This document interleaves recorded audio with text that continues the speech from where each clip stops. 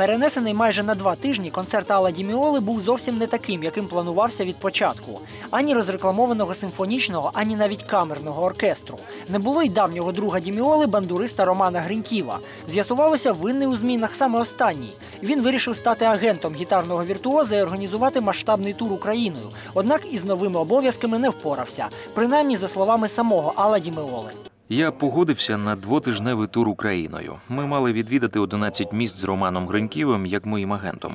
Я дав йому ексклюзивні права. Однак потім у Романа з'явилася купа проблем. Він почав працювати з людьми, які не виконували своїх зобов'язань.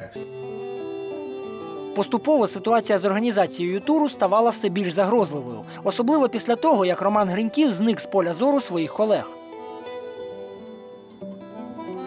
Ми не могли його знайти протягом чотирьох днів. Він не відповідав на дзвінки та імейли.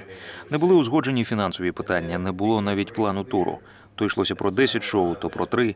Ми довго вірили словам Романа, однак, урешті-решт, стало зрозуміло, він не в змозі вирішити усіх проблем.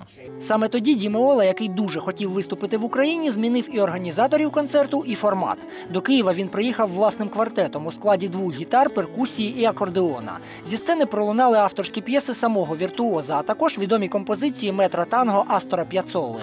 Публіка отримала чудову нагоду особисто переконатися. Шестиструнний інструмент для Алла не просто пристрій для добування звуків.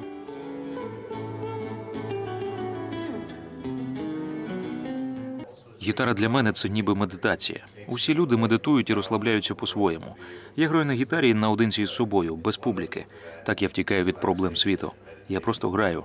І це може трапитися будь-де, наприклад, в аеропорту.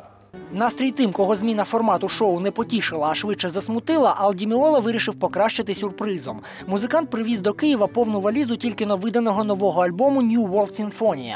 Цей диск був записаний наживо в Мілані під час січневої серії концертів у клубі Blue Note, тобто у перерві між останнім і передостаннім візитами до української столиці. І кияни таким чином стали першими, хто отримав змогу купити нову, так би мовити, ще гарячу платівку гітарного мага.